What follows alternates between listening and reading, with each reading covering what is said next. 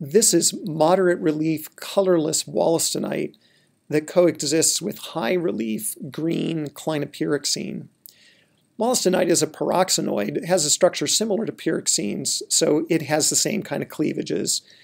Um, actually has rather similar interference colors as well. It does have a little bit lower relief, though.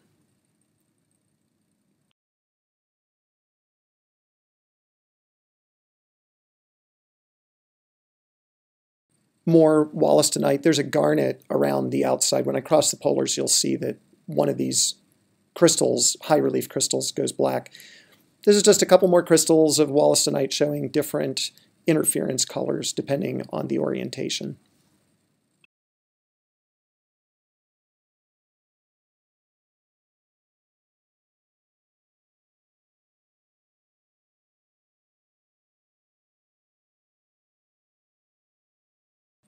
And this is an end section of wollastonite. Wollastonite is very fibrous. It's an asbestiform mineral, and it does not polish well in end section.